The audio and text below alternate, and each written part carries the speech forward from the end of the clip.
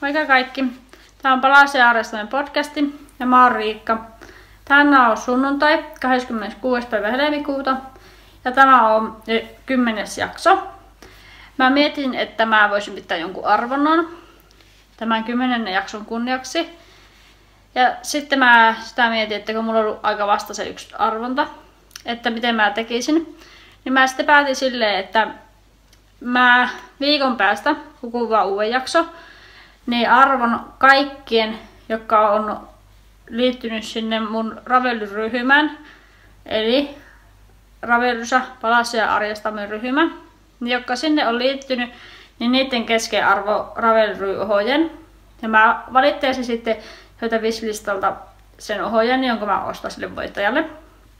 Eli jos et ole jo siellä ryhmässä, niin käyhän ihmeessä liittymässä, niin oot mukana arvonnassa. Ja sitten, että jos sulla nyt ei ole siinä käsityötä eesä, tai hyvää syötävää ja mukava asento, niin teepä nyt korjausasiaa. Tästä jaksossa tulee todennäköisesti se yli puoli tuntia, vaikka mulla on ollutkin alle puolen tunnin mittaisia ne. Mulla on tosi paljon tässä asiaa, enemmän entä yleensä, niin mä tiedän, että mä kyllä vähän venähtää. Mutta tervetuloa tosiaan seuraamaan mun juttuja. Osa varmaan huomasikin, että mikä mulla on täällä päällä. Eli mun breathing space on valmis. Mä otinkin tuossa tästä yhden videon pätkän ja kuvia. Niin mä voisin ekane laittaa tähän ja sitten kertoa tästä enemmän.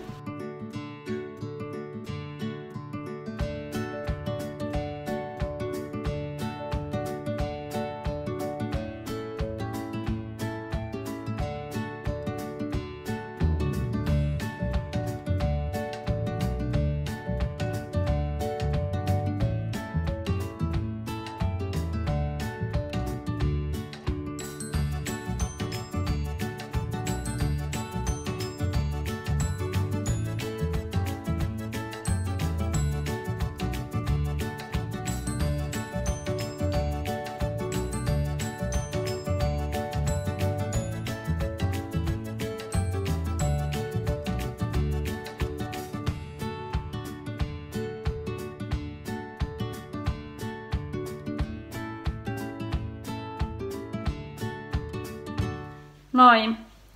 Eli sen näköinen se on päällä. Ja mulla oli tosiaan lankana tässä se Dropsin Baby Merino. Mulla oli värit 1 ja 20.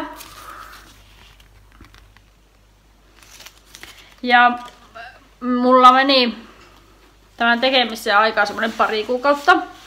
Mä aloitin tämän silloin joulun jälkeen ja sitten nyt tämän viikon tiistaina mä sain tämän valmiiksi. Ja mulla meni lankaa tähän yhteensä 334 grammaa. Ja tätä harmaata, joka on täällä näitä raitavärinen. Voin vielä näyttää. Eli tämmönen. Niin tätä meni vähän yli kaksi kerran. Ja sitten tää valakonen. Niin viiennestä kerästä jäi tämmönen olisiko tässä parikymmentä grammaa. Ja tästä pitää sen verran selittää, että mä tekin tähän vähän muokkauksia. Tässä tosiaan on ihan pitkät hiat. Ja kun täällä niitä kavennuksia tehtiin, niin mä vaan tätä niin kuin vähensin sitten täällä ja harvensin niitä kavennuksia. Ja sitten teki niin näitä raitoja tänne asti. Ja sitten alkoi jossain vaiheessa tekee tuota valakosta ja sitähän tuli tämä joustin. Ja tästä helmasta, niin mä tänne helmaankin tekee enemmän näitä raitoja.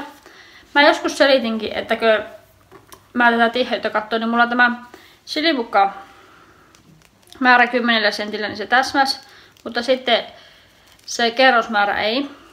Niin sen takia jouduin tekemään vähän enemmän noita kerroksia.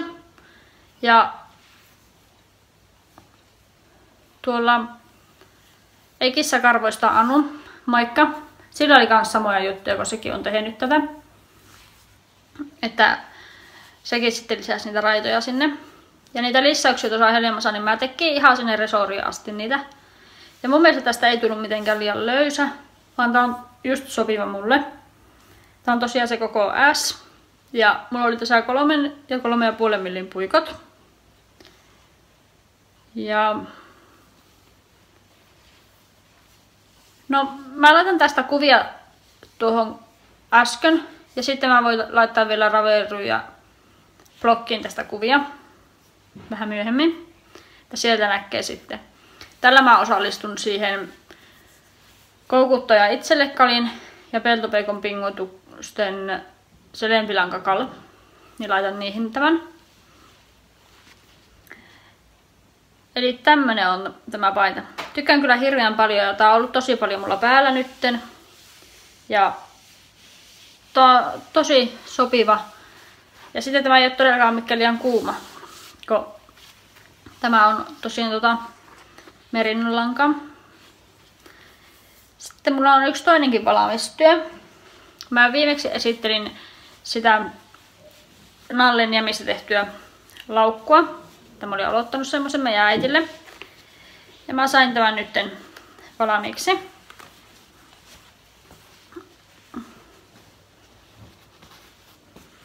Eli tällainen. Mä olin viimeksi tehnyt tässä tämä sinivalkoisen puolen väliin. Sitten nyt mä jatkoin sinistä tässä. Ja sitten täällä oli harmaat ja peikä ja sitten täällä on taas niinku valkoista. Ja sitten kun loppui siniset, niin mä tekin mustasta. Ja sitten näissä sangoissa, niin näissäkin on niinku tätä mustaa ja valkoista. Mutta sitten kun loppuu valkoinen, niin täällä on ruskia. Sitten tässä toisessa sangassa on kans ruskea ja mustaa. Mutta sitten mulla loppui tuo musta tuon verran ennen kuin mä olin saanut tämän valmiiksi. Eli mä sitten tekin sillä ruskealla loppuun. Ja sitten se loppui se ruskeakin niin, että mun piti tehdä pari silmukkaa sitten, että yksinkertaisena että mä saisin riittää. Ja sitä lankaa jäi semmonen ihan pikku pätkä, että mä sain sitten just just pääteltyä sen. Ja tähän meni lankaa 357 grammaa. Ja tässä on 3,5 millin koukku. Ja siis tuon alle oli kaksinkertaisena niin kuin. Tähän pitää vielä laittaa pohjalle se pahavi. Ja tähän se mun merkki. Sitten tää on ihan kokonaan valmis. Tää esitellä tämä jo nytten, että tämä on valmis. Mä itse tykkään kyllä tästä hirveän paljon. Ja mä laitoin äitillekin kuvaa, niin sekin tykkää tästä. Ja tää menee äitille niinku semmoiseksi, että se voi tässä kuskota käsityötä vaikka, kun se kulkee käsityöpiirissä. Ja tää malli oli se virkattu jenkkikassi. Eli aloittaa täältä pohjasta. Sitten tehdään tähän tämä taitereuna ja sitten tehdään tänne ylös asti. Ja mä tekin tähän noita viloslymkuita tuohon reunaan. Ja sitten tehdään nämä sangat samalla lailla, että niin tuo pohja. Ja ne taitetaan vaan tästä keskeltä kahtia. Ja ommellaan sitten kiinni tuolta. Ja mä ompelin ne sitten jollakin, olisiko se ollut semmoinen raita nalle, niin sillä ompelin. Se ei näy tuolta yhtään minnekään. Ja sitten tietenkin ompelin vielä nämä kiinni tähän nämä sangat. Ja tähän ei tosiaan tule mitään vetskaria eikä nappia eikä mitään. Ja semmonen oli toive, ettei tarvitse laittaa mitään siihen. Ja nyt mulla onkin sitten jäänyt näitä nallelankoja enää semmosia punertavia ja raitasävyjä. Niin mä oon niistä sitten aloittanut vielä yhden pussukan. Ja se on täällä Villavaitapeli Elinan se pipopelikali, niin siitä sain palakinnoksi tämän pussukan. Ja mä oon tehnyt tätä kans melko paljon.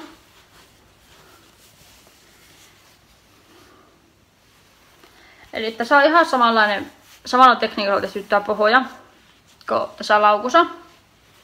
Se on vaan paljon isompi. Siis tämä laukku on paljon isompi tämä. Ja, mutta tähän mä en tehnyt mitään semmoista reunaa, vaan jatkoin vaan siitä suoraan ylöspäin. Ja tässä mulla on kolmea eri nallelankaa päällekkäin. Ja tässä on 5 millin koukku.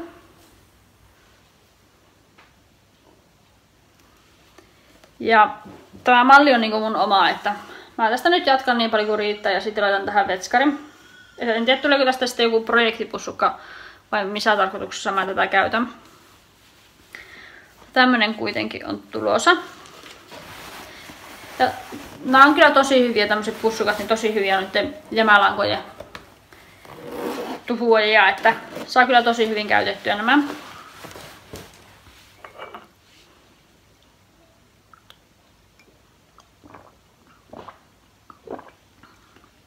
Mulla on tällä kertaa tämä nuuskamuikkusmuki. Sitten mä viimeksi kerroinkin, kun mä oon kirjastossa lainannut tää huivileikkikirjan. Ja mä teen täältä tätä mallia harmaa ja liila. Mä voin vielä näyttää tätä toisin kuvan. Menit tuon mallin.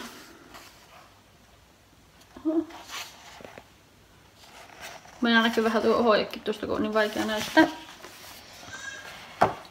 Ja mulla on tosiaan lankana tässä se For Amma. Eli se Marin kässäpäiviksen mamilta, moikka, niin sen tekemä tämä lanka Tiikerin Lilja.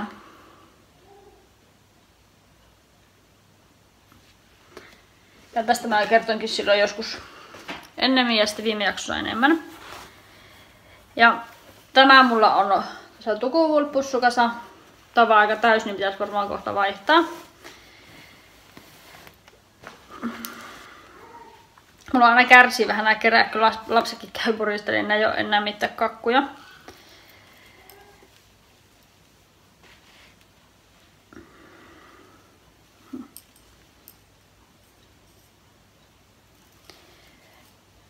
No jaha. Eli mä oon tämän verran tehnyt. Viimeksi mä olin jossain, olisinko ollut tässä kohdassa. Mä oon nyt ottanut sen merkin näköjään pois. No suunnilleen tässä kohdassa tämän verran olin tehnyt. Ja nytten mä oon tehnyt sitten tämän verran eteenpäin tätä. Ja mä kyllä tykkään hirveän paljon tästä langasta. Tää on ihana väristä. Ja silloin alussa mulla oli tosi epätasaista tämä alaku. Mutta nyt tämä on tasottunut hirveänä tämä jälki. Ja tämä on kyllä tosi mukava tehdä, kun niitä lisäyksiä tulee niinku joka neljäs niinku kierros tai rivi. Ja sitten se on aina oikea. Ja tässä mulla oli tosiaan nuo 4 millin puikot.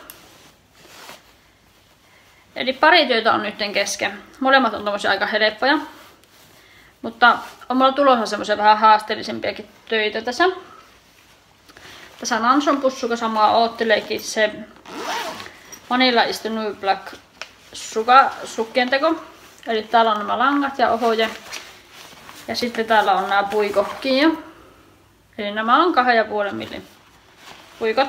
Nämä mä ajattelin aloittaa ensi viikolla. Ja sitten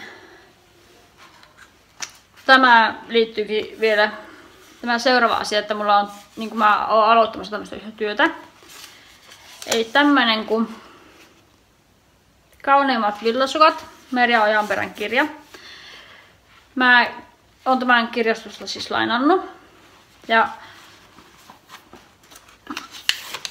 mulle tehtiin tilaus näistä elinasukista. Mutta nämä tehdään niinku musta palako harmana. Ja mä sainkin nyt nämä langat. Niin on siis seiska veikkaa mustaa. Sitten on tätä nostalgia. Ja sitten on valakosta. Eli näistä tulee nuo sukat. Mä kulen täällä mun paikakunnalla kansalaisopiston käsityöpiirissä. Se on aina torstaisin. Siellä aika moni kuttua kangaspuilla, mutta mä sitten neulon. Ja sitten me nähtiin yhden, niin joka kulkee siellä piirissä, sen kanssa Instassa kuva näistä elinasukista. Ne oli just tommoset musta palakoharmaat. Niin, niin nähtiin sitten kuvaa siitä. Ja se sanoi, että sitä hirveästi kiinnostaisi ne, mutta että se ei osaa tehdä, että jaksasinko mä tehdä. Mä ajattelin, mä voin lainata kirjastusta sen kirjaa, että katsotaan sitten. Ja se varaus, se oli aika kauan, että kun mä varasin, niin ennen kuin sain sen, siinä oli niin pitkä jono. Mutta nyt sitten kun mä sain tuon, niin mä ilmoitin sille ja sitten se hommas mulle langat, niin mä tein sille ne sukat. Sitten tässä kirjassa on muitakin tosi ihania malleja.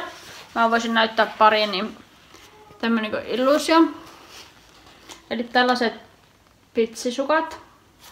Mä oon ennen tehnyt hirveän paljon pitsisukkia. Ja sitten mä kokkelin kaikkia monenlaisia.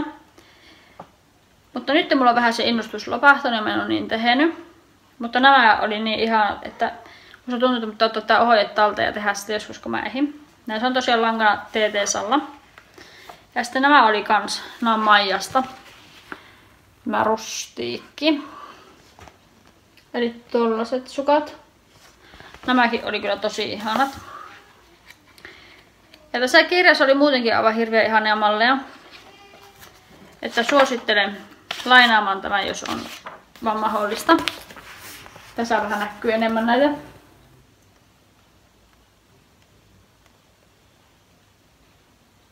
Tuollaisia.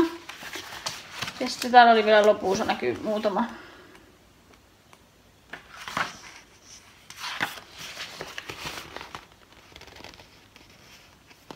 Nuo siniset kyllä mun mielestä ihan tämmöset pitsisukat. Sitten täällä on vielä muutama tämmönen kuva. Eli tosiaan tää oli tää meriajanperän kauniimmat villasukat. Jos jotakin kiinnostaa tämä. Tässä on tehty seiskaveikasta, maijasta, jannesta ja nallesta ja semmoisista aika tavallisista langoista sukkia. Ja mun mielestä se oli tosi ihania nuo kuvatkin. Esimerkiksi tämäkin kuva. On semmoisia pelkistettyjä, mutta silti niissä on ajateltu hienosti nuo, niin kuin, nuo väriasiat.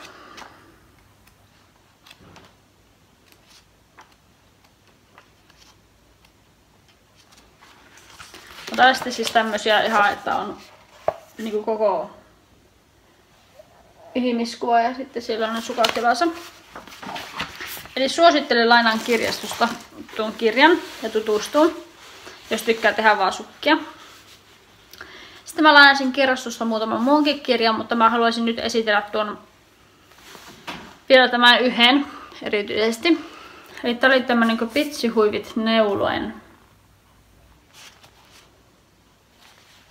kauneimmat virolaiset pitsimallit.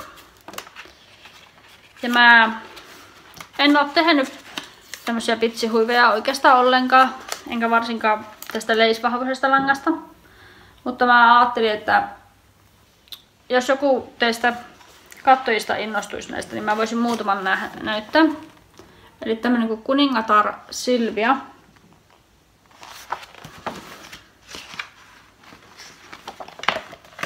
Tämä on tämmönen suorakaitemallinen pitsihuivi. Tämä oli mun mielestä tosi ihana. Ja sitten oli vähän samantapainen. Ja tämä on kolmiohuivi. Tämä on nimellä kesäinen kolmiohuivi.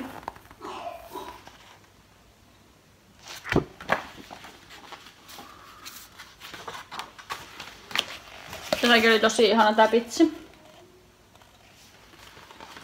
Eli siis tää oli tää Pitsihuvit neuloen kirja, jos joku nyt innostuu.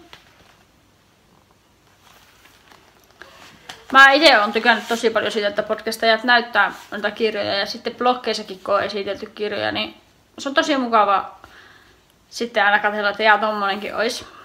Niin sitten mä itse tykkään katsoa aika paljon kirjoja silti.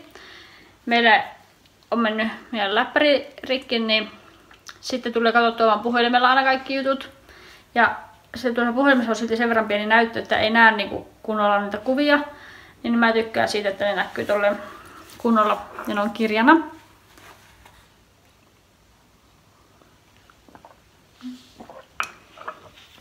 Sitten voitaisiin mennä, että mitä postia mulle on tullut. Eli tuossa viik viime viikolla varmaan Villasukka Murmeli, Emmi, moikka. Laittoi viestiä, että saisiko se osoitteen. Ja mä sitten annoin sille se osoitteen ja mä olin jo unohtanut, että se on sitä kysynyt. Sitten Instassa tällä viikolla, se oli keskiviikkona, pari laittoi, että oli saanut postia Emmiltä. Ja sitten mäkin, mä olin lähdössä neuletreffeille. Mä siis käyn tuolla kansallisopiston piirissä joka torstai ja neuletreffit on sitten joka toinen viikko ja se päivä vaihtelee. Niin mä olin nyt siis keskiviikkona menossa sinne. Ja sitten me tehtiin kuin miehen kanssa vaihto, että mies tuli piha-autolla, niin mä lähtin autolla sitten. Niin se oli sitten ottanut postin postilaatikosta samalla ja se oli niin kuin, että se vie se sisälle, niin että hei, että siellä on varmaan mulle yksi kirje, että annappa se mulle mukaan. Mä sitten sen mukaan ja aukusin siellä, kun meni perille, niin siellä autossa sen. Ja sieltä löytyi tämmönen kortti. Sä lukee, että elämä on aineista opettelemista. Juuri kun luulee tietävänsä, ka- juuri kun luulee tietävänsä kaiken, oppikin jotain uutta. Ja täällä oli Emmiltä ihania terveisiä ja minifanipostia. Ja sitten täällä oli lisäksi teetä. Mä join jo tässä yhden. No, täällä oli nämä kaksi teetä on vielä jäljellä. Ja kiitos emme ihan hirveän paljon. Tää piristi kyllä tosi paljon. Tää posti. Ja teetä, sitä ei ole itkään liikaa. Nykyisin tulleekin tosi paljon kaikkia laskuja ja mainoksia, niin tommoset niin kirjat on aivan ihania saada. Ne on kyllä niin mukavia piristyksiä. Ja yleensä ne tulee aina just silloin, kun on vähän huono päivä ollut itsellä.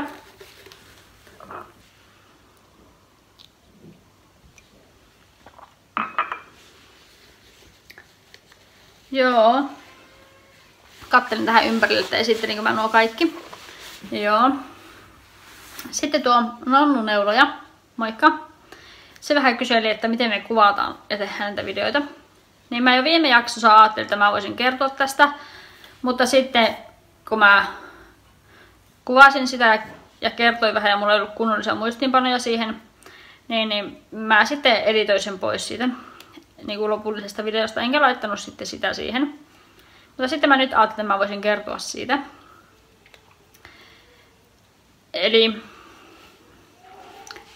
no vaikka tänäänkö mä tiesin, että mä alan kuvaamaan, niin mä eilen sitten otin tämän mun podcast-vihon ja sitten alkoin kirjoittelemaan tänne niin kuin muistiinpanoja. Täällä aina lukee, että mikä jakso ja päivä on. Ja sitten täällä lukee, että mitä mun pitää kertoa. Ja se lukee aika tarkasti aina nämä. Esimerkiksi tänään vaikka kun mä oon kertonut valaamista, niin mä oon kertonut tästä mun breathing spaceista. Ja sitten täällä lukee kaikki langat, puikot, kauanko on tehnyt, sitten paljonko mennyt lankaa. Ja sitten, että miten mä oon muokannut sitä mun ohojetta. Tai sitä ohjetta niin kuin tuohon omaan malliin. Ja sitten täällä lukee niin kuin jokaisesta työstä tolleen nuo kaikki asiat. Eli mä edellisenä iltana aina kirjoitan ylös nämä muistiinpanot. Sitten aamulla mä, mm, niin kuin, kun me saadaan vaikka, vaikka tänne, niin me saadaan syötyä. Niin sitten mies ja lapset menee joko pihalle tai tuonne toiseen huoneeseen. Nyt ne on tuossa toisessa huoneessa, että jos sitä kuuluu ääniä. Mä en mennyt kuvaamaan tuonne niiden tuonne huoneeseen, jossa ne yleensä nukkuu, kun siellä on sen verran pimiempää. Ja sitten kun tuolla ulkona on kuitenkin niin valossa vielä, niin mä ajattelin kuvata tässä keittiössä. Tuo on vähän harmi, kun nuo ikkunasta näkyy tuo valo noissa silmälassissa niin monesti. Mutta jospa se ei aivan hirveästi haittaisi. Eli mä siis monesti on kuvannut tässä keittiössä. Ja mä voisinkin laittaa videon tähän, että miltä tämä näyttää tämä mun kuvaamispaikka.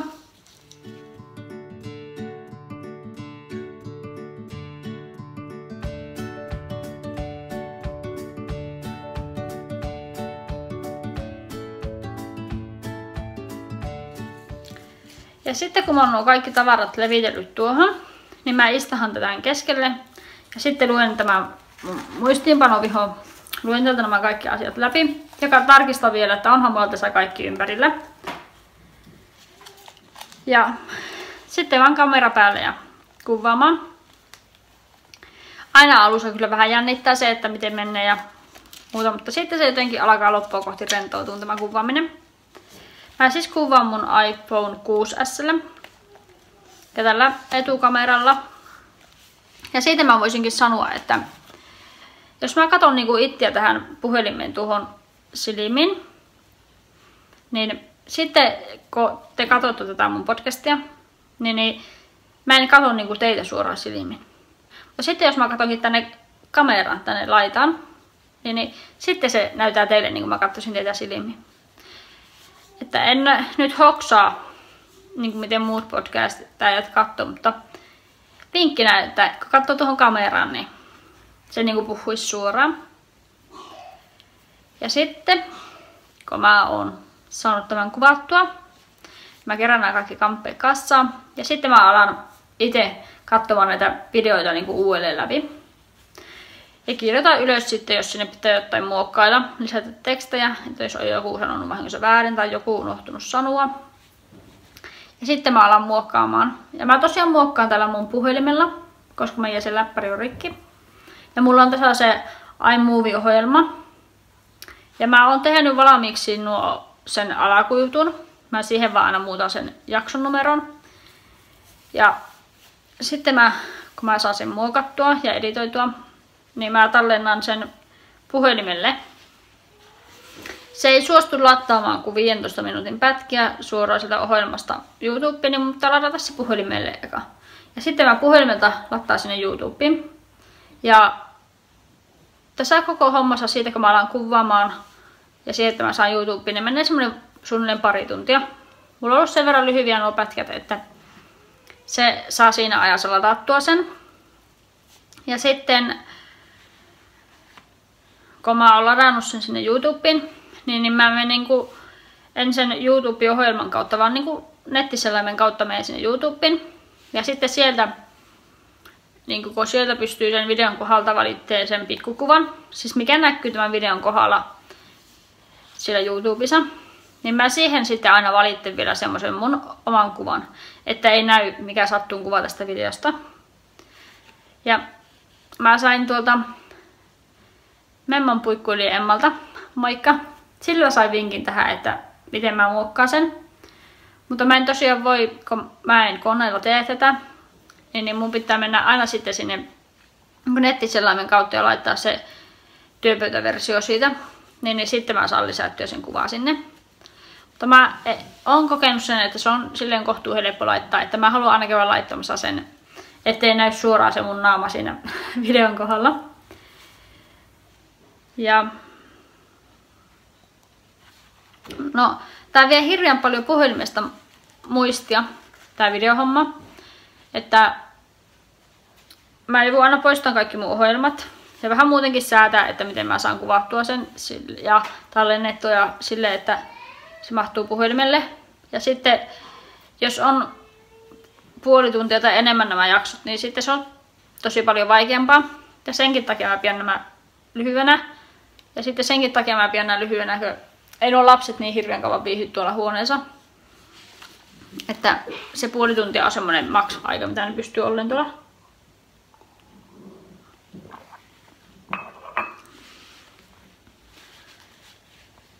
Mä mietin, että jäikö mulla vielä jotain tärkeää sanoa tähän. Mutta sitten aina kun mä oon kuvannut jakson, niin mä alan seuraava jaksoa sille jo ajattelen, että mä saatan kirjoittaa semmoisia muistilappuja ylös tuonne vihkoväliin, että mitä seuraavassa jaksossa mä muistan, jos mulla oli vaikka tullut joku posti, niin että sen muistan sanoa. Ja muutenkin niin kuin, sitä ajattelee aina sen viikon ennen kuin kuvaa, että mitä sitten seuraavassa jaksossa tapahtuu. Ja sitten Anhe sama projekti alkaa sitten alusta, kun alkaa kuvaamaan uutta jaksoa. Mutta tämä kuvaaminen on, on tosi mukavaa. Vaikka tässä on vähän työtä ja vaivaa, niin, niin silti tämä kannattaa mun mielestä. Ja jos joku katsojista siellä yhtään miettii, että muakin kiinnostaa tuota kokeilla, niin kokeile ihmeensä. Ja saa kysyä kyllä apua ja autan, jos vaan osaa. Ja silloin ensimmäisessä jaksossa niin jotenkin tuntui, että no se oli hirveän semmoinen tönkkö ja että enkä mä osannut olla siinä. Ja en mä edes uskaltanut katsoa sitä enää uudelleen nyt. Siitä on tosiaan se mm, vähän vajaa pari kuukautta aikaa. Mä aloitin tämän vuoden ihan alustan kuvaamisen. Tai en ole uskaltanut sitä katsoa uudelleen. Mutta tässä kehittyy ja sitten just, että oppii semmoisia pieniä kikkoja, että miten nämä kannattaa tehdä ja jokaisella on se oma tapa, että miten tekee nämä. Että ei sen tarvitse olla just samanlaista kuin muilla. Mulla on varmasti monia samoja piirteitä kuin muilla, mutta sitten mulla voi olla jotain ihan omiakin juttuja. Ja se on ihan oman näköinen. Ja sille on helpompi mun mielestä olla tässä kameraa ja se kun tekee siitä semmoisen oman näköisensä. Eikä ole pakko olla just samanlainen kuin ne muut. Mä tässä samalla taas vilikuiden tänne muistiinpanoja, että onko mulla vielä jotain kerrottavana. Joo. Mä oon käynyt nyt kaikki läpi. Mun pitää aina koittaa väkisellä saada tätä lyhyemmäksi, vaikka tuntuisikin, että tulee pitkä. Että se oikeasti mahtuu tuohon mun puhelimeen. Ja tosiaan, muistakaa liittyä sinne mun ryhmään, niin osallistutte siihen arvontaan. Se oli siis Ravelrysä Palasia Arjastamme ryhmä. Ja sitten, jos et ole jo tilannut tätä kanavaa, niin tilakkaa. Ja saa kommentoida. Voi jättää kommentteja tähän videon alapuolelle. Tai vaikka Insta saa laittaa. Tai sitten laittaa sinne Ravelryn suomalaiset podcastit ryhmään sinne mun ketjun. Tai tosiaan sinne mun oman ryhmän Palasia Arjastamme. Ja mä taas kuvaan sitten viikon päästä. Todennäköisesti sitten sille viikonloppuna. Ja mä sitten samalla ilmoitan siinä, että kuka se arvon on, on voittanut. Mutta tällä kertaa mulla ei ole tässä enää enempää. Kiitoksia hirveän paljon, kun olit mukana. Neulokaa. Nauttikaa noista auringoisista ilmoista. Olkaa ystävällisiä toisille. Ja tehkää jotain mukavaa mistä itse tykkäätte. Kiitos hirveän paljon. Nähdään taas. Moikka!